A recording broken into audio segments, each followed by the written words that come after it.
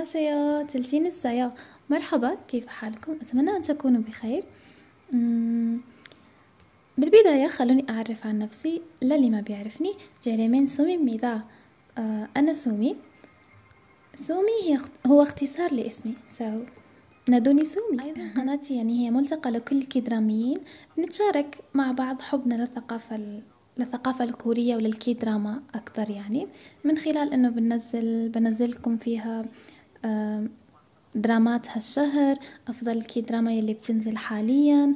آه، بنصحكم أيضا تحليلاتنا عن ال K-drama لما بتكون دراما جديدة عم تنعرض بتشارك مع بعض.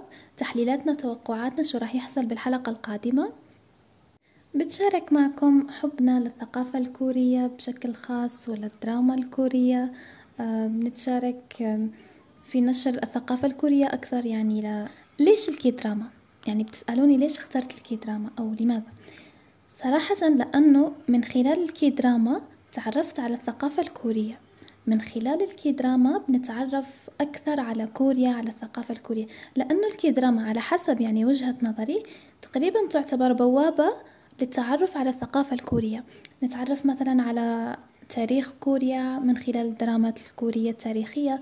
نتعرف على النظام المدرسي في كوريا من خلال الدرامات المدرسية.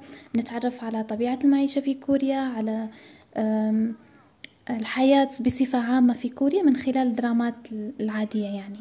فهيك من خلالها يعني نتعرف أكثر على كوريا. أيضا بشارككم آه، رحلتي في رحلتي في تعلم اللغة الكورية. مثل ما بتعرفوا خلصت المستوى الأول والآن أنا في المستوى الثاني للغة الكورية. راح أشارككم نصائح وشو تعلمت و... وين أنا واصلة حاليا في اللغة الكورية؟ وأيضا راح أجرب معكم سلسلة جديدة هي سلسلة تجاربي في المطبخ الكوري. راح نجرب مع بعض وصفات للأكل الكوري. نشوف الوصفة على ندور على الوصفة على اليوتيوب ونجربها مع بعض. المرة الماضية نزلت أول حلقة جربت معكم الكيمباب الكوري. وهالمرة حنجرب وصفة جديدة بإذن الله. ونشوف شو راح تطلع معنا. أكيد راح تطلع طيبة يعني. أنا عاملتها. فراح تطلع طيبة. عم بمزح وهذه هي وصفة فيديو اليوم اسمها كيميتشي فرايد رايس.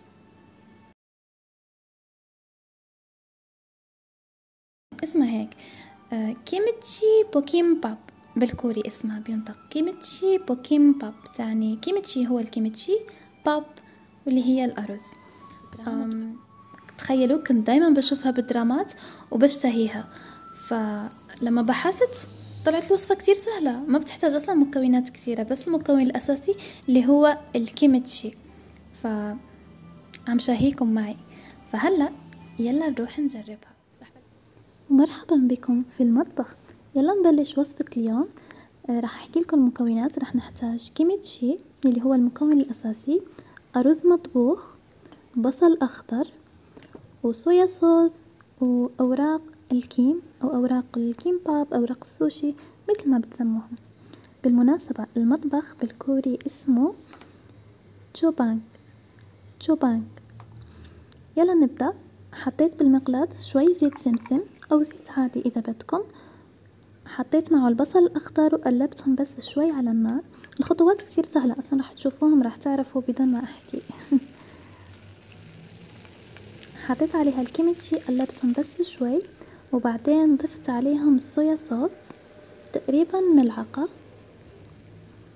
قلبتهم مع بعض وضفت عليهم معجون طماطم أو صوص طماطم. إذا ما عندكم صوص طماطم فيكم تعملوا آه، معجون طماطم تخفوه بس بشوية مي وتضيفوه عليهم. وبعدين آخر شي حطيت الأرز المطبوخ خلطتهم مع بعض وهيك صارت أكلتنا اليوم جاهزة. كيميتشي الأرز المقلي أو 김치볶음밥 kimchi fried rice. كلها اسمها الطبخة وهيك صارت الأكلة جاهزة. رح جهزها في صحن التقديم مثل ما عم بتشوفوا. بالمناسبة ما حطيت لا ملح لأنه ال soya sauce أصلا بتيجي مالحة وبرضو ما حطيت توابل أو أي إضافات لأنه الكيمتشي already يعني بيكون منكه. فيه نكهة كتير حلوة.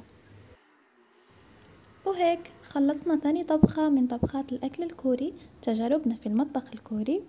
زينتها بالبصل الأخضر من الفوق وبرضو من أوراق النوري مقطعين بشكل رقيق أو صغير.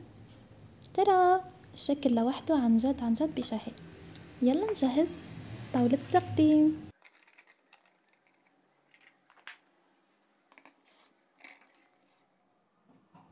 وهلأ صار وقت إنه نتذوقها. راح أحكي لكم على طعمها. حطيت طبختنا لليوم مع شرائح الزنجبيل. الطبخة عن جد بتجنن. يعني أنا فهذي ثانية طبخة يعني أجربها وكتير حبيت. الكيميتشي لوحده ممكن يعني أول مرة بيتذوقوا ممكن ما بيعجبوا. ولكن لما تجربوه في هذه الطبخة يعني مع الأرز راح يطلع عن جد عن جد مزيج. كتير لذيذ كتير حلو.